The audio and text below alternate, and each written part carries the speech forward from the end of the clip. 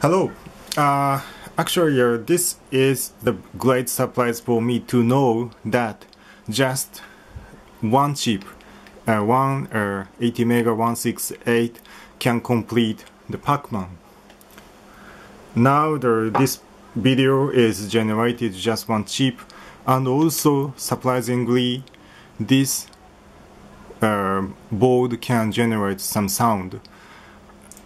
Uh, let's see how it works.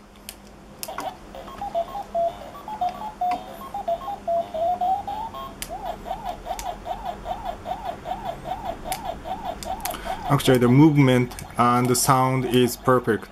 It's really a Pac-Man.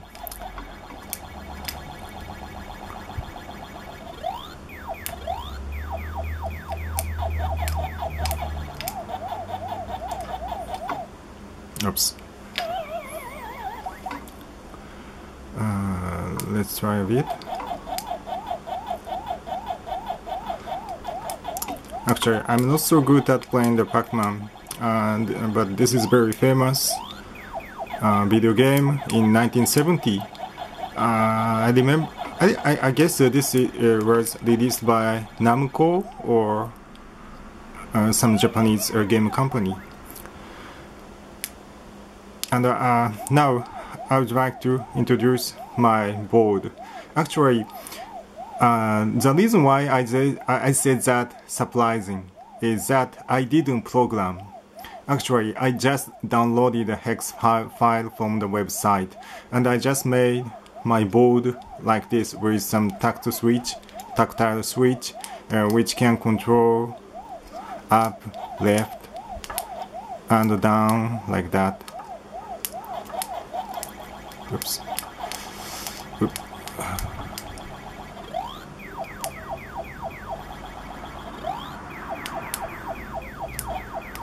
And I added a small transformer because the output impedance of uh, microcontroller is very high and it's very hard to uh, drive the speaker. So I added a small transformer.